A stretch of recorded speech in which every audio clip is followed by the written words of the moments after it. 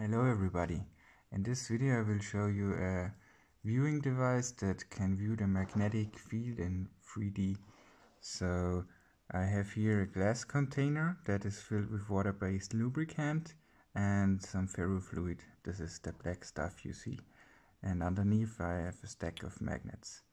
So yeah, if I just um, remove the magnets, you will see it influences the ferrofluid and it forms these kind of spikes and yeah you've probably seen this ferrofluid performance before with magnets and ferrofluid but what's interesting with this device is that the ferrofluid moves um, slower than usual because of the high viscosity of the other fluid uh, of the other liquid that it's swimming in. So what I'm going to do now is I will place the ferrofluid up like here and then I will draw kind of a circle around it and place it evenly. So let me just do that off camera.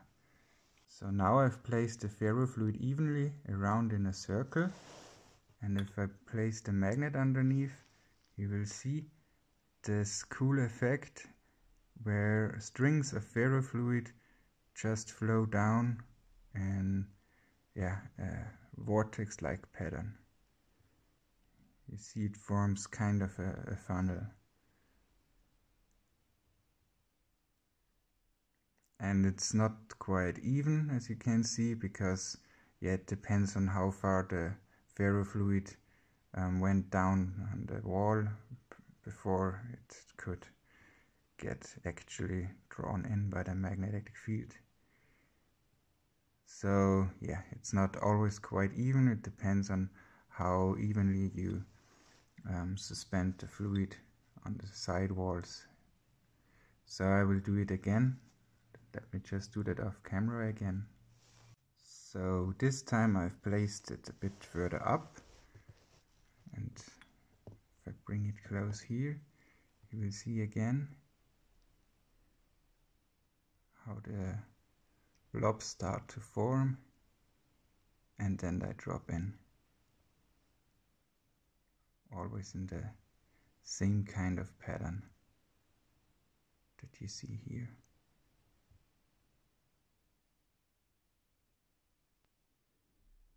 It looks kind of amazing.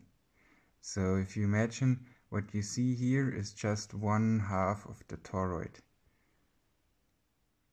so everything where there's no ferrofluid on the sides would be, uh, yeah, one half of the toroid. And then you have this vortex of ferrofluid that forms inside here. So I will place it again, um, but this time I will place the ring of ferrofluid lower down. So now I've placed it lower down and if I attach the magnet you will see the it will be attracted much faster. And it also forms this vortex shape and if you look closely at the center of it you will see fine small particles of ferrofluid rise up from the center and also do form kind of a vortex-like pattern inside the outer vortex. Ah, I can't see it that good now. So I will just try it again. Maybe you can see it better this time. So try it again. And you can see it coming down really clearly.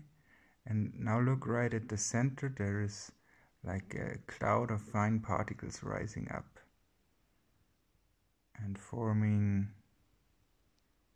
yeah kind of a vortex pattern right at the center. Don't know how you, well you can see this but I think from here you can kind of get an idea. It's not very good visible on the camera unfortunately but anyways, this was just to show you um, one of many things you can do with this field viewer. So let me uh, come over to the next example and for this I use a big ferrite ring magnet and I'll also show you something interesting you can do with this. So I just bring it close and you will see it, it rises up at first and then like this I can trap uh, well you can see it sorry. You can trap a bubble of ferrofluid. Uh, I lost it. Let me do it again. Okay let's do it again. Like this. You should be able to see it I have to move the glass vial always to the or I have to move the blob always to the center. And depending on how I change its position you can see it wanders off. But yeah I can place it just so that it will always float. So just right at the center of this magnet this um, ferromagnetic blob that you can see here floating will just stay here on top and is not attracted. It's like trapped in the center here. And over time it will wander to one side and will finally be attracted, but if I just move the glass container to counteract this movement, and the movement is really slow, I can trap it like this. I think this is really cool. If I remove the magnet, you will see it forms kind of a sphere sitting right at the center like this. And I will try to catch it again like this as you could see. Now it's trapped again in here and forms this neat little spike. I think this is pretty cool. So yeah, I've also got another array of magnets here.